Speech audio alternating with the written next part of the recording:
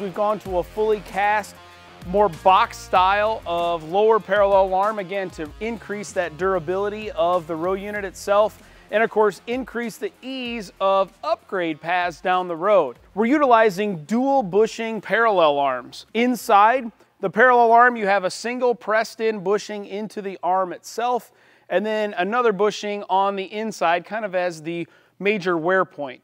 The beauty of that, number one, as it wears, you can just replace the single bushing on the inside, or if it gets to the point where we're wearing through that pressed in bushing, it's a matter of pressing out that bushing, putting a new set of bushings in, and you have a brand new set of parallel arms without ever having to replace the actual arm itself.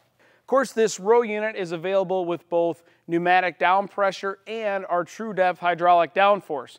If you're not ready to make that jump into true depth, it's easy to upgrade from pneumatic down pressure because of the integrated mounting locations all built into the row unit by default.